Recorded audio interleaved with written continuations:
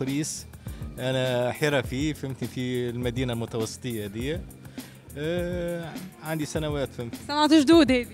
صناعة جدود صحيت إن شاء الله فهمتني نحافظوا عليها فهمتني وتبقى متواصلة فهمت إن شاء الله. آه عندك اشياء إن شاء الله. عندك آه حاجات مزيانة برشا صراحة أنا غزرت شوي. الأسوام هل هي في المتناول أو فقط للسياح؟ والله إيش مش أقول لك بس- ولا غالي برشا برشا فهمتني؟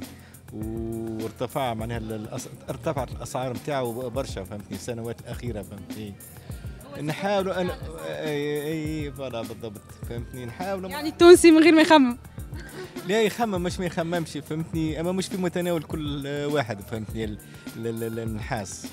لأنه ارتفع الأسعار نتاعو فهمتني وهذه النقش على النحاس يتطلب يعني حرفية يعني مش أي إنسان تصوره قادر. يعني أكيد هو فن من الفنون فهمتني؟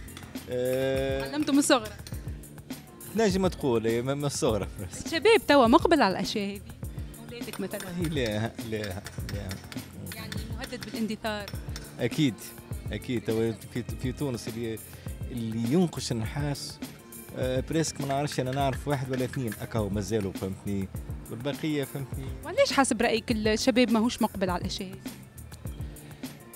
آه، هي مربوطة بالواقع السياحي. سنوات التنانين فهمتني؟ الأخيرة مع ال- الكوفيد فهمتني اكسترا إيه فهمتني.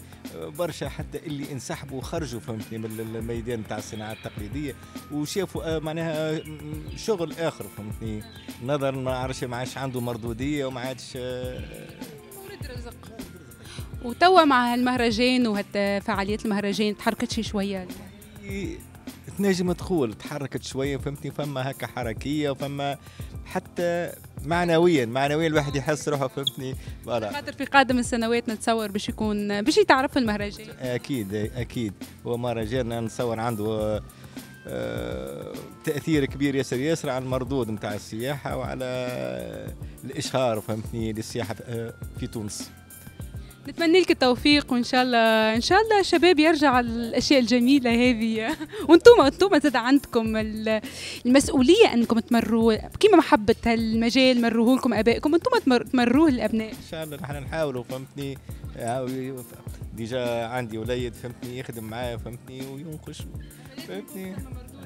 أكيد صحيت. هي مربوطة ديما بالمردود مربوطه مربوطة معناها بالعامل المادي فهمتني؟ والمقابل. شاء الله ربي يبارك لك. عايشك بنتي مرحبا بكم الكل. عايش